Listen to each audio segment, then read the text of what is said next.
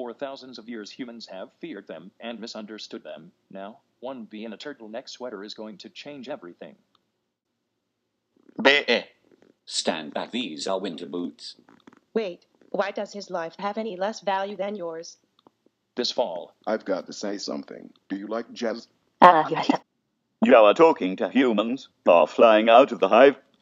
Barry B. Benson So you see soda on the sidewalk and don't drink it. it. is a little bee Has not bothering anybody. Get out of here, you creep. discovering a big secret. How did these get here? It's just honey Barry. This is stealing. you Beauty, Golden Blossom, Ray Liotta Private Select. I'm going to get to the bottom of this. Have you got Yes. a plan? Plan B.